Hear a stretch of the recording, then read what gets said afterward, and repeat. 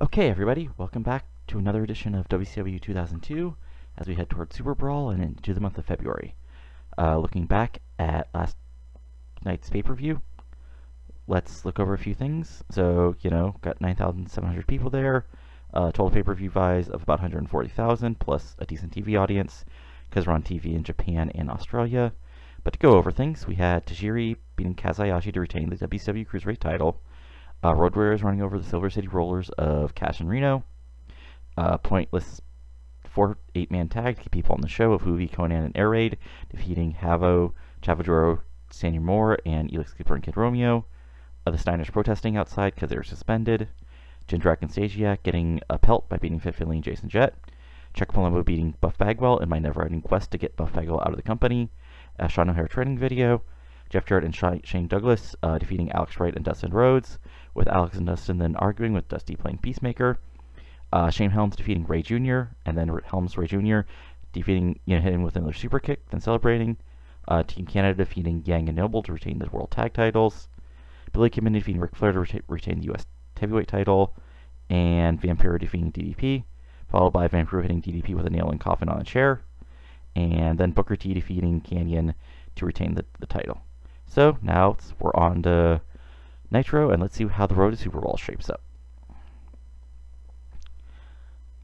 So to start out, we've got a pre-show match where Juvi, Lash, and Jason Jett defeat Johnny Swinger, Shannon Moore, and the Funkster in 15 minutes when Jason Jett defeats Shannon Moore by pinfall. You know, not a terrible match, but it's a pre-show match to get some people on the show. The next up, we've got Konnan defeating Buff Bagwell in 11 minutes by submission with a zip block.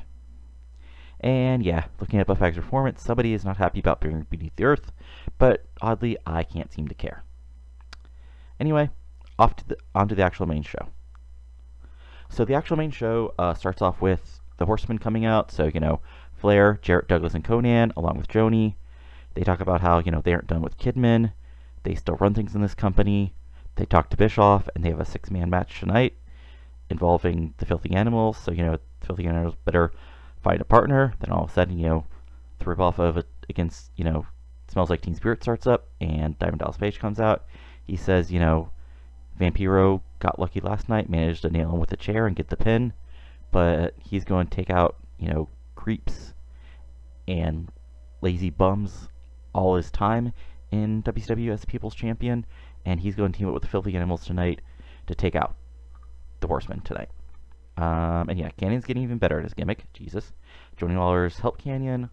Uh, Angle got the crowd hotter. Diamonds came out looking exit. Kanyon was fantastic. Hurrah and 89A. Um, a match to start off the show as far as wrestling. Jamie Noble defeating Chavo Guerrero Jr. in 554 with a diving leg drop. So yeah, just a short, quick match to have some cruiserweight action. 70C plus, not bad at all. And then backstage, uh, Bischoff is in his office.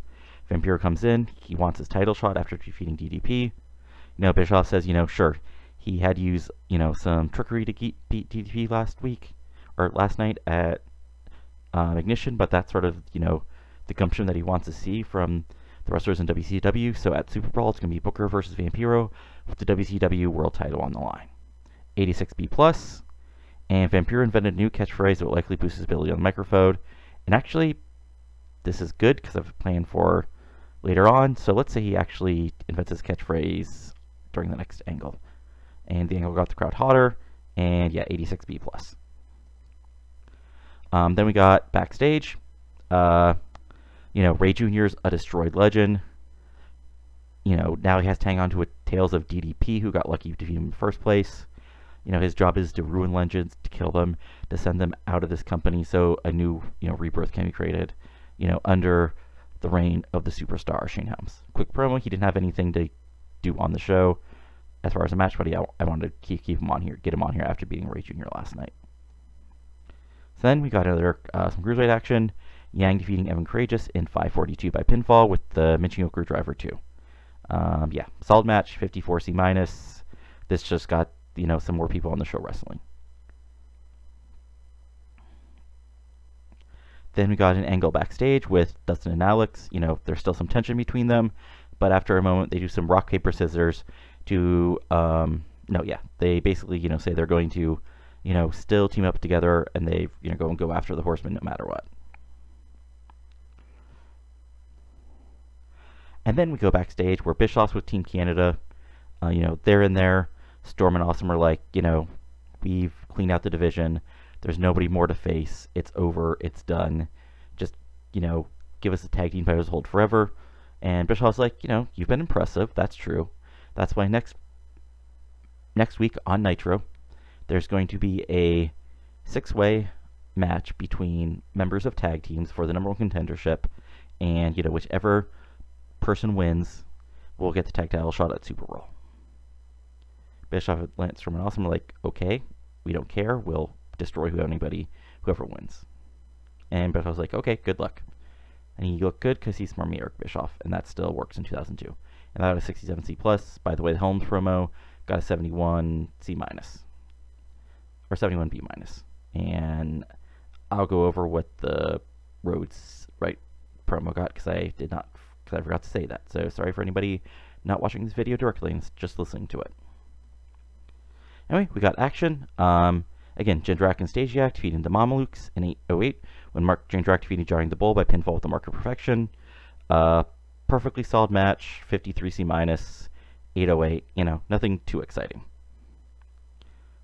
And then after the match, Jindrak and Stasiak, you know, they, they cut a pr promo with Dawn Marie in the background, you know, basically like, you know, rubbing them down, touching them, you know, you know, basically marveling over their muscles. And they talk about how, you know, sure, Storm and Awesome think they have the titles, but Jindrak and Stasiak are the future of wrestling. And they're going to, you know, one of them's going to win the six way next week. And then at Super Brawl, the fans may not be happy about it, but they're going to be the ones who take the tag belts off Storm and Awesome. 77 beep for that, because, you know, they're not too bad. Then we got, oh, yes, this is a great promo. Okay. So basically, you know, Booker T comes out with, with a title belt. He thanks the fans. He says, you know, Kanyon tried his best. He had his horsemen lackeys try to beat him down. He had that freak Johnny Lawler trying to take him out. But, you know, he's still standing as a WCW World Champion because of the, you know, support of the fans.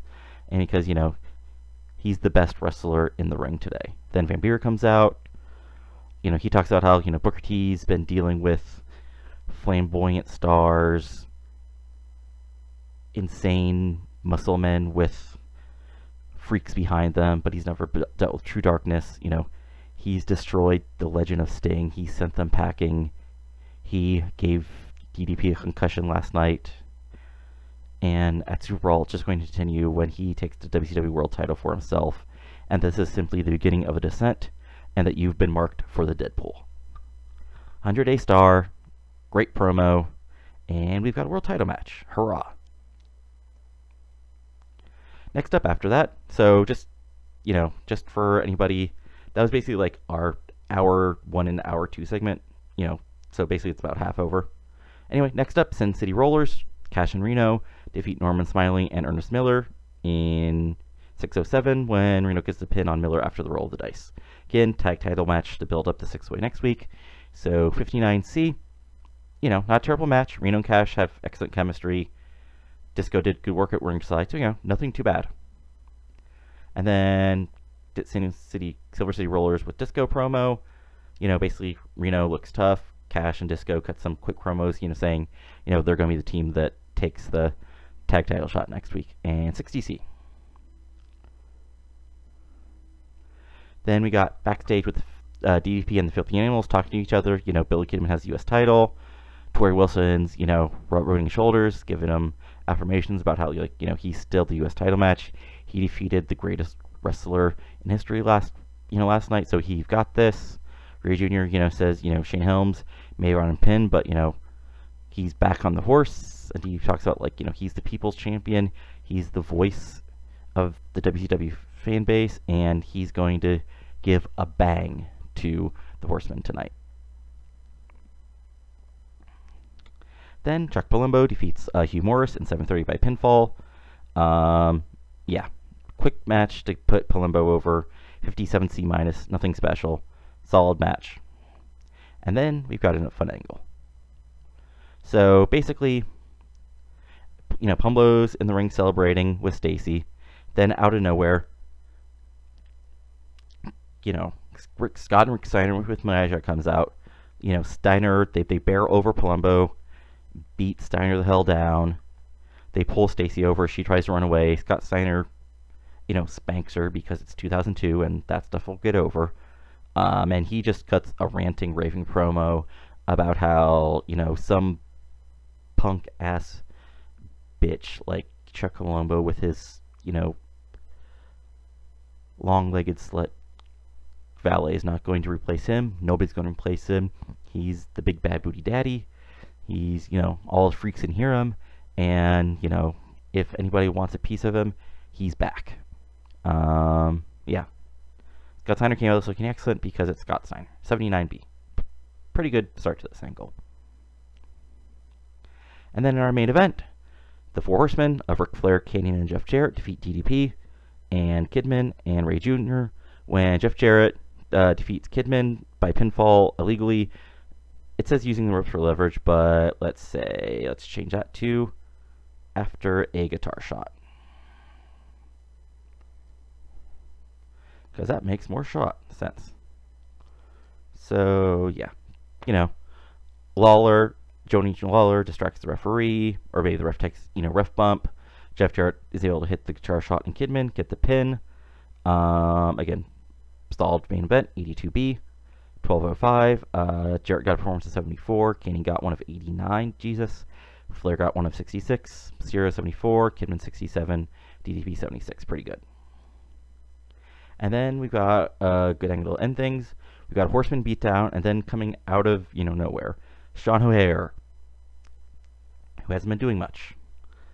Recently had to end his tag team with Chuck Palumbo because they lost a loser so must break up match at Starcade. Comes out, and, you know, during the middle of a horseman beatdown, he just comes up and starts, like, you know, punching, lariat, tossing people around, you know, has a face down with Kanyon and things, and then he just drills him with, um, what was it called? The Widowmaker.